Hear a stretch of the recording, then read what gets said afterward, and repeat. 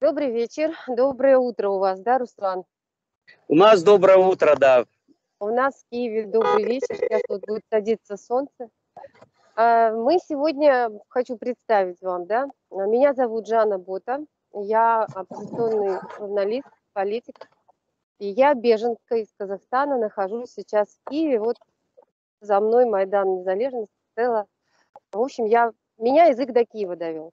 Со мной собеседник мой сегодня Руслан Лазута, тоже казахстанец, и его язык увел гораздо дальше.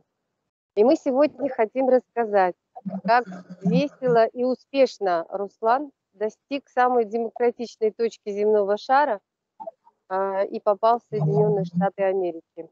Скажем так, мечта многих, э, и поэтому я считаю очень важным рассказать, как, каким образом люди из Казахстана – добираются до Америки в наше время. И, и потом когда-нибудь мы еще запишем несколько эфиров, почему это произошло. И, возможно, будут вопросы, на которые с удовольствием, я думаю, Руслан ответит. Поэтому мы приступаем, мы как истинные беженцы делаем это на, на бегу, на ходу. То есть я где-то там шла в Киеве, остановилась, Руслан где-то там ехал и под пальмой в Майами завис. И мы сейчас будем все это подробно узнавать. Так где вы находитесь, Руслан? Здравствуйте еще раз. Я сейчас, э, э, во-первых, э, здравствуйте, жадно рад вас видеть. Во-вторых, хочу поприветствовать всех казахстанцев. Всех люблю, всех обнимаю. И хочу сказать, что я сейчас нахожусь на территории Соединенных Штатов Америки, штат Флорида, город Майами. Надо Сзади меня пальмы и океан, Атлантический океан. Это особенно бесит Руслан, это особенно сильно бесит нас тут в Киеве, а их там в Казахстане еще больше. Да, да, да, совершенно верно. Наша задача рассказать, э, каким образом Руслан добрался до Америки и как он там устроился. Э, наша задача сегодня рассказать, что на самом деле побег из совка возможен. Я точно знаю, что миллионы людей мечтают уехать из этого концлагеря огромного, и немногие решаются. И есть три стадии, насколько я понимаю. Решиться, подготовиться и сделать это. Поэтому вот Руслан, который все эти три стадии прошел, принял решение, подготовился и рванул. И приехал уже на место. Вот он сегодня нам расскажет, как это все происходило. Давайте начнем с главного. Как вы вообще решили, что вас побудило? Ну, то есть вот как вы вообще вот это преодолели, этот ужас, вот покинуть страну? Причем спешно, я так понимаю, да? Да, у меня, в общем-то, э, срочная эвакуация была, э, как и в отношении многих правозащитников э, в Казахстане. В отношении меня возбудили уголовное дело по 274 статье. Это распространение заведомо ложной информации в условиях чрезвычайного положения. А, и, э, в общем-то, мне э, грозил э, серьезный срок. Поэтому решение было принято оперативно. Сначала эвакуация в Киев. И после уже небольшого, небольшого перерыва, что называется, передохнул, перевел дыхание, началась подготовка к эвакуации уже в США. Рустам, ну у вас же вот это не заняло каких-то мучительных раздумий, там, длинного периода? Вы как-то вот быстро и решили это? Вы знаете, э, когда я смотрел картинки, э, фотографии вот э, правозащитника Арона Атабека, меня это настолько ну, шокировало вот это. И я понимал, что меня ждет подобная участь, поэтому решение было принято максимально оперативно. И эвакуация произошла ну, довольно быстро. Ну, и... То есть вам страна не оставила выбора, как обычно? Заведомо а. У меня, да, ни, ни, никакого выбора у меня не оставалось, э, потому что я говорю, что буквально 2-3 дня, и я был бы просто арестован и Э, замучен где-нибудь в застенках э, местного там КНБ, не знаю, по полиции, потому что, ну, я говорю, то, что там происходит, это вообще какой-то ужас тихий. Окей. А вот теперь вопрос, давайте разберем самый главный. А что входит вот в эту период подготовки, вот мы с вами как-то общались, и вы сказали, что к этому надо готовиться. Что сюда входит? Как вы лично готовились к этому? А, значит, э, любой, э, любой, в общем любая эвакуация в, в страну победившей демократии, ну, я имею в виду США, естественно, конечно же, требует подго подготовки в интернете огромное количество всякой информации о том, как э, истории люди рассказывают, как уезжают. На самом деле все ситуация меняется довольно быстро. Когда-то лучше, когда-то хуже, когда-то ужесточение, когда-то ослабление и так далее. Э, поэтому э, готовиться, конечно, надо э, основательно. И первые шаги, первые, самые э, первые шаги, это, конечно же, необходимо подготавливать историю вашего преследования, историю, а, ну, подготавливать кейс. Многие, а, вы знаете, люди к этому настолько безалаберно относятся, что думают, а что такое кейс? Ну, ничего страшного, главное сейчас на территорию США попасть. Если бы, э, ребята, все было бы так просто, ну, наверное, весь мир был бы уже э, назывался бы США. На самом деле, все гораздо э, в этом смысле сложнее. Люди Просто приезжают, да. Да, надо быть ответственным. Я как беженец вот. могу подтвердить, что да, да, да, да, да. роль, да. Совершенно верно. И э, люди, даже попав на территорию США, через год благополучно их депортируют отсюда. Потому что люди не готовы. И многие едут, э, знаете, э, ну, в надежде, что как-то, каким-то образом зацепятся здесь. Ну, вот. Ничего подобного. Должна быть э, основательная подготовка. И, как я уже сказал, начинать все необходимо с кейса. Э, то есть история вашего преследования. Э, в Казахстане ну, очень большое количество людей, которые даже не подозревают, что их преследуют и преследовали. Э, и э, э, для того, чтобы э, писать вот эту историю, необходимо ну, советоваться со специалистами. Кстати, мне огромное количество пишут в личку, как уехать, что для этого нужно. Вот поэтому э, был подготовлен чат, э, он будет как свалить, он будет в описании к ролику. Поэтому все заходите, пожалуйста, туда, э, подписывайтесь, там будет постоянно э, выкладываться информация полезная, там будем общаться, и я буду, в общем-то, делиться информацией э, и помогать действительно людям, кто этого заслуживает, кто этого хочет, чтобы как можно быстрее сбежать вот из этой тюрьмы народов. Ну, я хочу тоже сразу подчеркнуть, да, чат называется «Как свалить». Правильно я услышала? Да, да, совершенно верно. А то, а то у вас как-то так получилось это. Смотрите, ну ладно, чат. А, и вот по поводу кейсов, это все понятно, да? А, а вот, ну хорошо, по кейсам понятно, да. Мне вот как беженки, конечно, особенно понятно, и я с вашим кейсом тоже видела, я работала, понимаю, да, ваше беспокойство, но а, у вас есть реальная история беженства, и вот сейчас вот этот момент, который вы под, сказали, я хочу его подчеркнуть. Смотрите, наверное, не все поняли, зрители. А очень важный момент, что люди, многие не догадываются, что их преследуют, то есть не догадываются, что нарушаются их права. Во многих вещах просто не видят нарушения своих прав, потому что привыкли в тюрьме к тому, что ну вообще как бы в тюрьме никаких прав нет. А то, где сегодня живут миллионы людей, Россия, там Казахстан, Беларусь, это, естественно, тюрьма, не говоря уже про наши среднеазиатские республики, безусловно, это все тюрьма. И по-другому назвать эти страны нельзя. И поэтому, конечно, нарушение прав человека, прав э, вот ваших э, конституционных прав, оно повсеместное, и действительно надо советоваться со специалистами. И я так понимаю, у Руслана такие специалисты есть. Э, я-то консультировала Руслана как коллега как беженец, а я так понимаю, вы там поэтому и чат заводите, что у вас все это вот организовано, да? Да, конечно. Ну вот, и давайте тогда вот такой вот вопрос. Как я понимаю, э, что самым интересным остается маршрут. Как уехать да.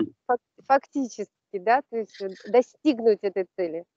Совершенно верно. Значит, э, именно с этого этапа начинается, ну, так скажем, отсев потенциальных мигрантов. Потому что мексиканцы тоже, в общем-то, не дураки, они видят наплыв, какой идет. А подождите, и... подождите, Руслан. То есть вы давайте с самого начала, то есть вы уже про Мексику. Давайте расскажем, почему через Мексику. И вот вот я именно... как раз, да, я и, и, и хочу сейчас к этому подвожу. Вот. Э, к сожалению, как казахстанцам, э, э, гражданам Казахстана, очень сложно попасть на территорию США.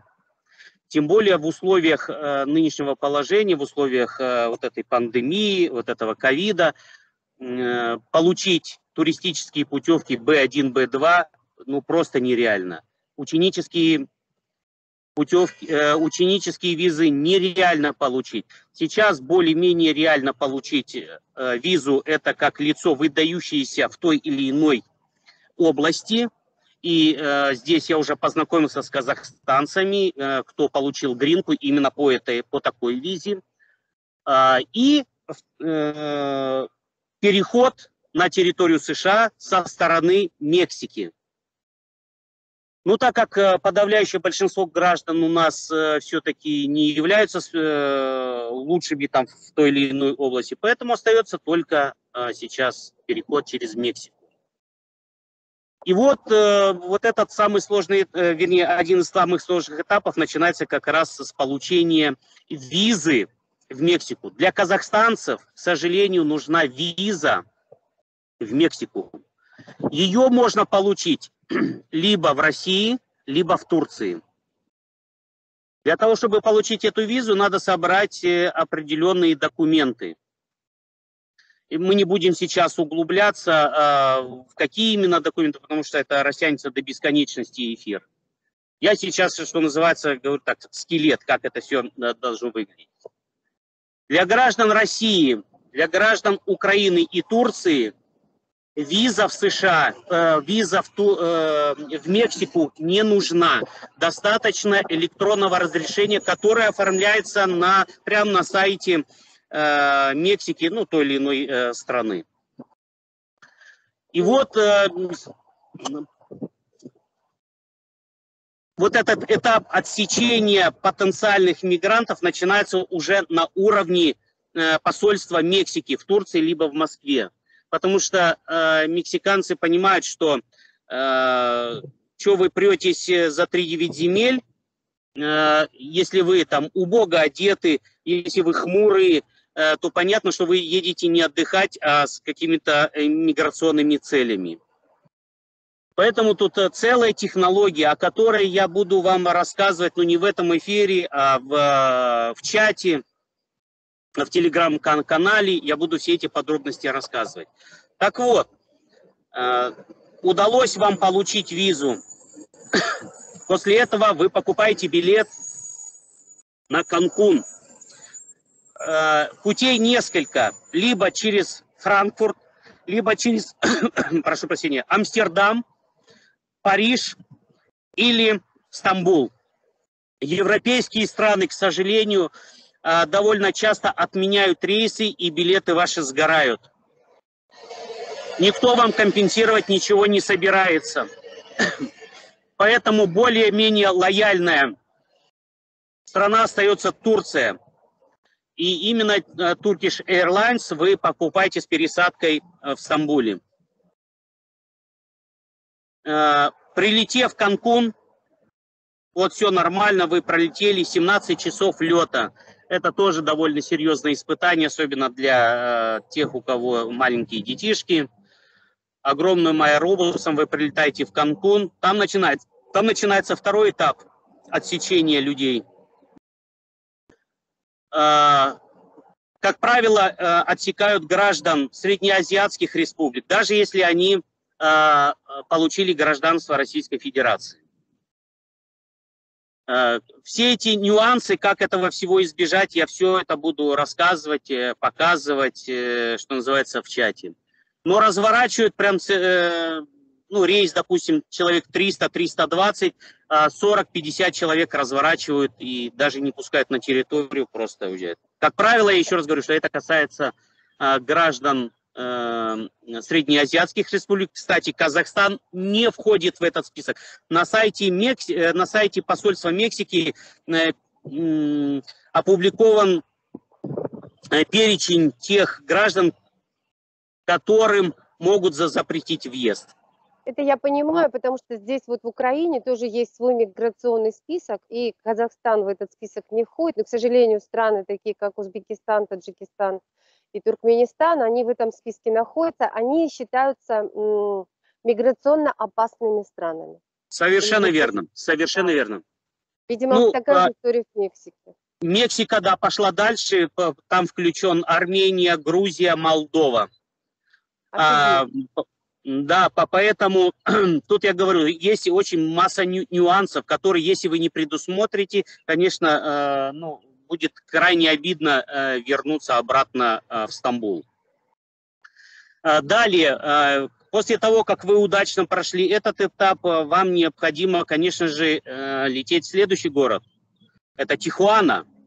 Это как раз э, тот самый э, город, который граничит э, с территорией США, с городом Сан-Диего, и где, в общем-то, как любой портовый город, он портовый город, как любой город, граничащий с другой страной, ну, туда съезжаются люди со всего мира, всех мастей, и это, откровенно говоря, такой, ну, совсем не туристический город. Поэтому, когда вы а прилетаете... Какой? Э, а? А какой? Сейчас я дойду до этого. Поэтому, когда вы прилетаете в Тихуану, вас ожидает э, третий этап. Э, также миграционные службы, миграцион, которые уже и на этом этапе начинают выдергивать и вот прилетает. Они сразу же видят бледнолицые физиономии, они выкупают американцев сразу же и видят, когда э, бледнолицые физиономии, всякие украинцы, россияне, белорусы. Ага. Ну, кстати, хочу сказать, что для американцев, так же, как и для мексиканцев, э, все э, граждане бывшей СССР, они все русские. Так что э, национал-патриоты, пожалуйста, э, не э, плюйтесь, вы все равно для них русские. И не выпендривайтесь, вы все русские. Да. А, значит, э, там тоже идет отсев. Ну и, соответственно, э, город Тихуана. Надо не забывать, что Тиху... Э, Мексика это все-таки транзитная страна, через которую идет огромный поток наркотиков. И Тихуанский картель это один из самых серьезных и мощных э, картелей. Сейчас там заправляет, ну, целая семья, больше половины семьи уже по тюрьмам сидит, но сейчас заправляет женщина там, рулит. Э, поэтому это такой огромный город, несколько миллионов жителей, убогие, убогие строения, в общем, депрессивный абсолютно город – Э, там ездят полицейские и военные исключительно вот с этими огромными автомашины, пикапы, снаряженные с э, пулеметами и так далее. Нередки а... случаи э, грабежей, э, краж, воровства, ну и всего-всего. Есть э, определенные районы, куда даже полиция не заезжает. Но Поэтому там... Странный город для путешественников, да? Самый да, странный. Да, да. А, да, и э, мексиканцы, Мексика, как э, мексиканцы, вот миграцион всегда спрашивают, а, ч, а какого черта вы летите в Тихуану? Ну, абсолютно не, не, не курортный город. Вот я не буду опять же говорить некоторые детали, это эфир не, не по этому а, поводу, вот, э, как вот эти все моменты избежать. Соответственно, после того, как вы уже туда приехали, э, пешеходный переход закрыт. То есть э, между Мексикой и США есть пешеходный переход, через который тысячами в свое время шли. Но в связи с ковидом э, пешеходный переход закрыт. Поэтому авто, только открыт автомобильный переход. Это Сан-Исидро, Атай-Меса и соседний городок Мехикали. Это три э, прохода, через которые вы можете попасть на территорию США. Но там начинается четвертый этап отсева. А, вы должны понимать, что через э, Мексику идут, ну, пытаются пройти десятки, э, сотни тысяч людей, не только с СНГ, но и стран а, Латинской Америки, Африки, Индии, э, Китая. Ну, то есть это, это, знаете, это такой Вавилон сейчас, Тихуана. А, самый большой переход на 32 полосы находится в Сан-Исидро, собственно, через э, переход, который я прошел. А, когда вы подъезжаете вот к этим полосам, стоят мексиканские полицейские, э, которые э, опытным взглядом, опять же, определяют, кто в какой машине едет. И выдергивают из потока автомобили, которые разворачивают и которые, собственно, э, с ними там делают другие процессуальные действия. Э, если э, после этого, когда вы заходите на полосу, там уже работают CBP, это служба, ну, пограничники, грубо говоря, американские, которые также уже вычисляют потенциальных мигрантов, и их задача не пустить потенциальных мигрантов на территорию США. А что такое граница между территорией, э, между США и Мексики? Она не такая, как мы привыкли видеть. Будки, э, колючая проволока и прочее, прочее. Помимо вот этой большой стены, понятное дело, но мы сейчас говорим о именно автомобильном переходе.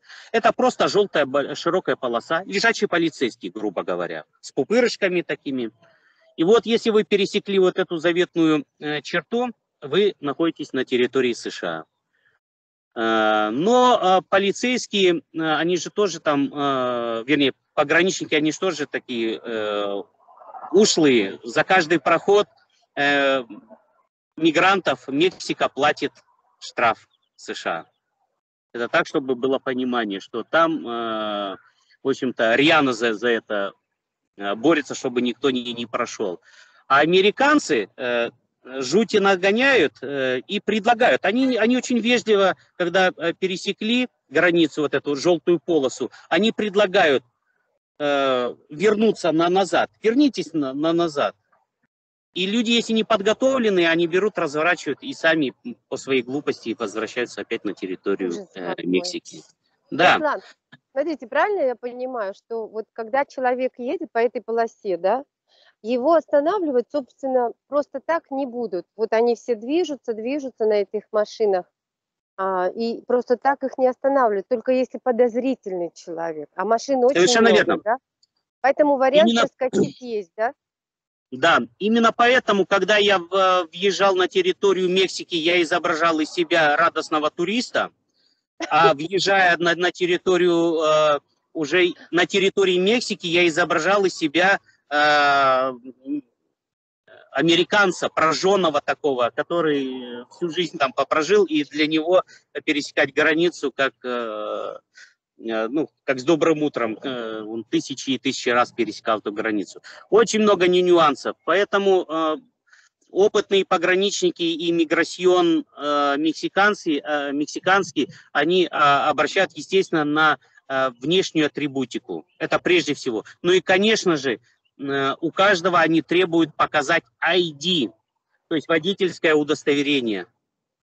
И тут, конечно, народ на что гораст, то на что гораст. И показывают водительское казахстанские и э, российские, белорусские, показывают э, московскую страховку, именно московскую страховку, она, в виде, она тоже в виде пластиковой карточки, там с фотографией, она очень похожа на, на э, права американские, именно калифорнийские. Вот. Э, кто-то пытается сделать, э, просто распечатать калифорнийские права, свою фотографию воткнуть а, вот, но это все чревато, естественно, потому что как только вы пересечете границу, вы уже э, ну, занимаетесь подделкой до документов, и ну, могут быть ну, просто проблемы. Вас ну, возьмут, просто депортируют, и все дело. И все ваши приключения за, за, заканчиваются. Поэтому э, лу, э, ну, люди, я говорю, на что, только на что, только не, не гораздо. Все, грузинские права очень похожи на американские. Поэтому э, многие ищут грузин, именно грузин, чтобы у кого есть э, грузинские права. Ну, в общем, тут уже у кого какая смекалка, кто-то пробивается. Ну, допустим, вот, вот я говорю про э, Сан-Исидро, есть э, и там, если вас до желтой полосы выдернули, вас разворачивают, тут же перекрывается дорога. Э, вас, то есть весь поток останавливается, освобождается место, вас, вашу машину разворачивают на пустую полосу. Там не все 32 полосы работают сейчас. А, ну, полос, ну, я так думаю, что не, не больше 20, 15-20 полос. Поэтому на свободную разворачивают и отправляют на назад. В конце э, этой полосы стоят уже мексиканские полицейские, которые принимают вас, машина конфисковывается, вас э, в мексиканский детеншн. Если вы одиночка, а мексиканский детеншн. Если вы семейные, именно с детьми, Э, вас, конечно, выпустят. Ну, в мексиканской тюрьме тоже вы недолго можете посидеть. Ну, в общем есть... о, грустном, о грустном не будем, будем о хорошем. Да. До, да, до да. все равно вы не добрались, я так понимаю, до этого. Я, э, именно поэтому э, я очень легко прошел. То есть при всей внешности, эм, внешней легкости прохода, я, конечно же, очень серьезно готовился к этому. Это все, я, я продумывал все детали. Э, более того, я с собой э, протащил э, семью с Украины, с Киева, ребят, семейную пару, которая, в общем-то, сейчас благополучно здесь. Да, вот. Я хочу... Продумывалось, каждый, в общем-то, элементы, каждая, ну, даже вот мелочь, мелочь, как должен выглядеть американец. Ну, я говорю, это долгий такой разговор, но мы не будем о ну, деталях. Это, это вы все в, в чате будете с вами обсуждать. Я имею в виду, что надо запомнить одно главное правило. Советские люди чрезвычайно угрюмые. И вот эта устрашающая серьезность выкупает да. сразу советских людей. Ну, вы, Руслан, известны как раз своим жизнерадостным характером. Да, да, да, да. И поэтому у вас как-то это, наверное, легко получилось. Я все время улыбался. Я все время улыбался я э, говорю, я даже очки не, не надевал свои борзы вот эти круглые, э, потому что это тоже элемент детали, э, но я не, не хотел, я хотел, чтобы видели мои глаза, и я старался, конечно, ими не бегать, смотреть, хотя э, боковым э, периферийным зрением я все-таки э, бдил и смотрел, как американцы э, едят, э, ездят, да? и как я, да, это все сыграло свою, без, безусловно, свою э, роль, э, даже вот это как права, где держать надо, э, когда ты проезжаешь, я видел, как американцы это делают. Поэтому все ну, это, все это имеет так, значение. Давайте тогда двинемся дальше. У нас тут темнеет в Киеве, и это, это, будем, ну, как бы, следующий этап да. проговаривать, пока совсем не стемнело. После того, как вы уже переехали этого заветного лежачего полицейского и оказались на той самой заветной стороне. Что дальше происходит?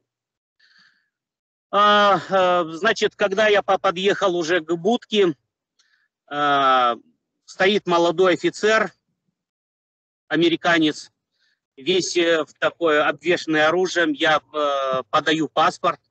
Он сначала смотрит на паспорт, потом на, на меня. берет паспорт очень аккуратно, Э, и тут я говорю ну, ту самую заветную фразу, что э, we need political asylum.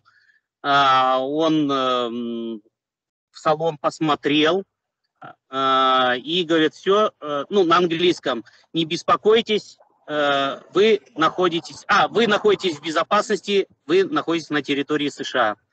Окей, все, вызвал по рации, Э, пришли еще несколько офицеров, то есть на каждого человека по, по одному офицеру приходит. А, нас попросили заглушить машину, там, да, взяли, в общем-то, по паспорта. В конечном итоге, а, пока небольшая процедура это прошла, нас э, сопроводили, обыскали машину, вещи мы вытащили, оформили нас э, документально, потом в бордер нас пустили, это большой такой, ну, типа КПЗ местный, но он э, как офис, то есть это большой такой офис, на очень похож, э, как казахстанские наши. Там оформление длилось еще около шести часов, а после чего нас э, по, по камерам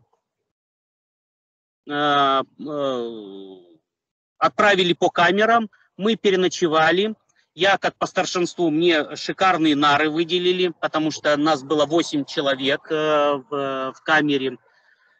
Э, все на полу улеглись, один я самый возрастной, поэтому мне э, нары выдали. Я э, переночевал, рано утром в 9 часов за, за нами пришли, нас вытащили, вручили документы, посадили в автобус, то есть уже в Сан-Диего, посадили в автобус и отправили в гостиницу, э, где мы пробыли два дня, нас взяли сразу же в этот же день э, ПЦР, вот этот тест, чтобы на, на.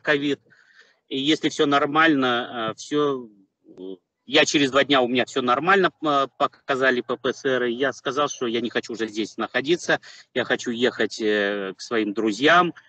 И они говорят, окей, Э, вы э, полетите за свой счет, за наш счет. Я говорю, я полечу за свой счет, потому что там есть нюансы, не буду тоже останавливаться, почему я не стал э, пользоваться их услугами. Я взял билеты в Техас и полетел к своему теперь уже другу, который меня приютил на, вот на период вот этот и, в общем-то, дал, дал первый-то толчок вот к моей, в общем-то, американской жизни.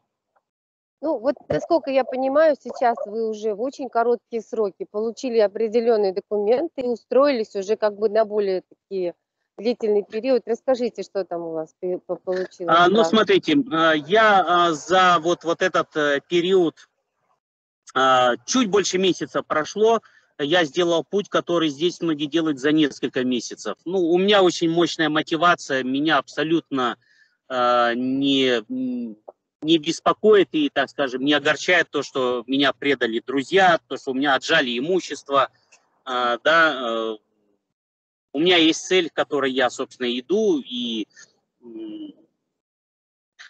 это, в общем-то, меня мотивирует для того, чтобы карабкаться наверх. Поэтому я получил водительские права.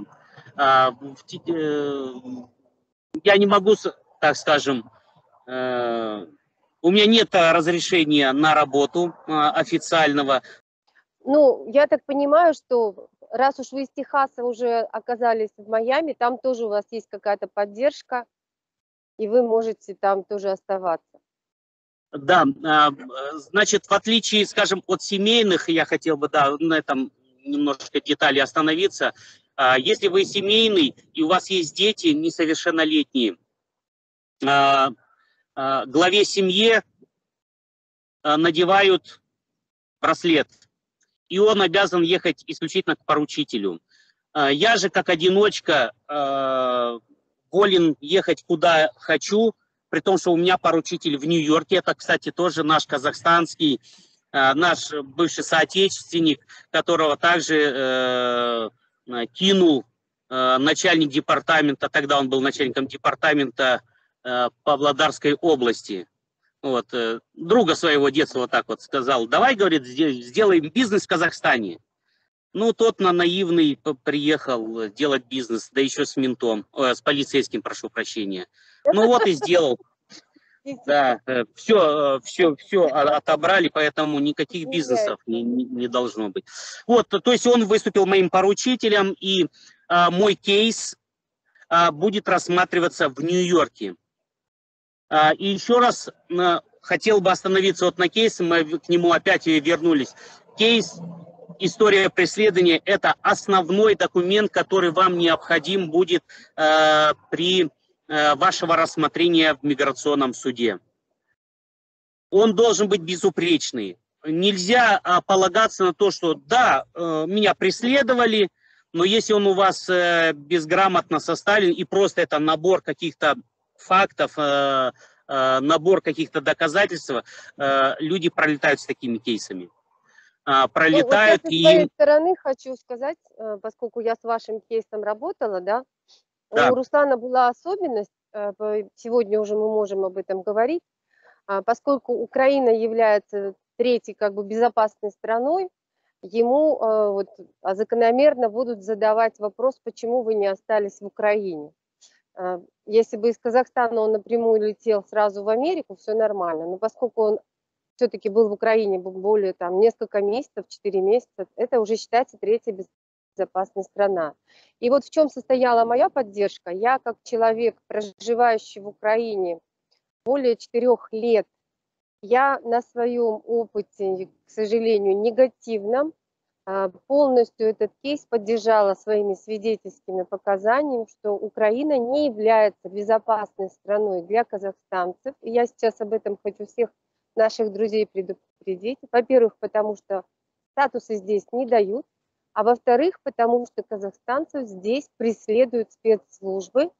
И в моем случае это ярко было выражено. Меня дважды пытались похитить и организовывали всевозможные нападения на меня. И в случае Руслана то же самое. Э, даже здесь, на территории Украины, его преследовали, и его жизнь была в опасности. И мы на это все зафиксировали.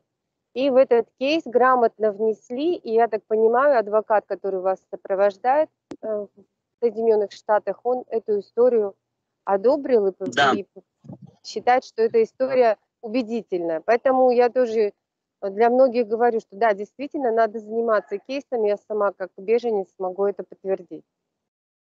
Совершенно, совершенно верно.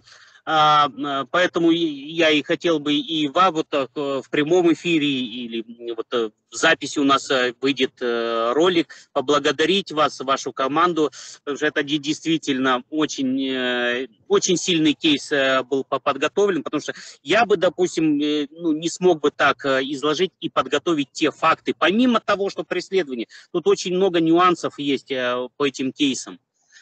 И что еще немаловажно, э, надо понимать, что э, вы, когда с кейсом приезжаете уже хорошим, э, хорошим добротным кейсом в США, вы не будете платить американскому адвокату за вот этот кейс. Потому что американские адвокаты берут, ну, вы же понимаете, это американские расценки и, там, я не знаю, там, условно, казахстанские, украинские, российские. Поэтому ну, да, кейс необходимо готовить до того, как вы приехали в США. Готовьте его. А, а, именно, ну, я говорю, все в ссылочке э, будет э, чат, где все можно обсуждать. Я буду рекомендовать, кому, куда, что обратиться. Поэтому, ребята, кейсы готовьте. Не, не устаю никому вот это вот, когда ко мне обращаются, повторять. Главное, делайте кейсы. Вот. Потому что, находясь на территории США, вы будете ограничены в своих возможностях со собирать доказательную базу. Ну, вот. это э, одно, а... и потом сразу начинаются же переговоры. Вот я, например, здесь в Украине тоже немедленно мне начали задавать вопросы, и ты должен понимать, как на них отвечать. А, э, я бежала очень растерянно, и я бежала без кейса. Но поскольку мне до сих пор статус не дали, я уже за пять лет свой кейс отшлифовала, то есть там уже много чего лежит. Вот. Совершенно верно. Поэтому все, а, готовьтесь, а, нет ничего нереального. Если вы мотивированы, если вы а, мечтаете и делаете шаги в этом направлении, все получится, абсолютно все получится. Ну, Не так, что... Я скажу такой еще вопрос, да, вот чтобы людям было понятно. Вот вы уже там, вы считаете, что вы правильно поступили? Есть ли у вас вот хоть капля сомнений, да, там, то есть вот что вот в результате получили? Расскажите свои впечатления. Ой, э, ну, э, меня эмоции вот до сих пор еще переполняют. Я безумно счастлив, вот э, реально безумно счастлив, что я нахожусь в этой стране, а, потому что я не могу, при всех недостатках, которые я сейчас уже даже вижу да, в США, они настолько ничтожны, э, кажутся, что говорить, в общем-то, не, не приходится. Э, страна, которая дала тебе убежище, ну, как ее можно не, не любить? Ну и более того, э, США – это комфортная страна, она сделана для, для людей.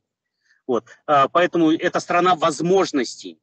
И человек, который сюда приедет с мозгами, головой, э, с, с мозгами, руками, здесь полностью реализует все свои, э, в том числе, э, ну, финансовые да, по потребности, э, материальные какие-то потребности. Ну, это об этом даже вот говорить про еду, одежду, ну, просто смешно, потому что они ну, копейки здесь стоят. Это правда. Поэтому я очень рад э, очутиться вот в этой свободной стране, где я могу что, что угодно говорить, о чем угодно говорить, размышлять, мысли вслух. Это потребность э, человека с рождения. И я здесь э, вот, свободно, спокойно об этом вот, э, рассуждаю. И здесь все ну, так вот относятся. И, кстати, здесь всем глубоко на- наплевать, кем ты был в прошлой жизни. Вот абсолютно на- наплевать. И как я ее не могу не любить? Конечно же, я вот США вот сейчас я люблю все больше и больше. Вот извиняюсь за пафос. Ну вы, да, вы такой вот прям живой, такой улыбчивый, у вас такой жизнерадостный характер. Да, Действительно. И вы меня бесите, Руслан, я еще Да-да. раз говорю. А вы меня своими пальмами страшно раздражаете. да, да, да, А да, когда да. я слышу, что у вас там пляж дво- 200 метров рядом, и вы пошли купаться, это, конечно, совсем раздражает. Океан. Более того, он не перегорожен шлагбаумами и какими-то э, э, молодыми людьми в, в спортивке, э, ко- которые ходят там, собирают э, деньги.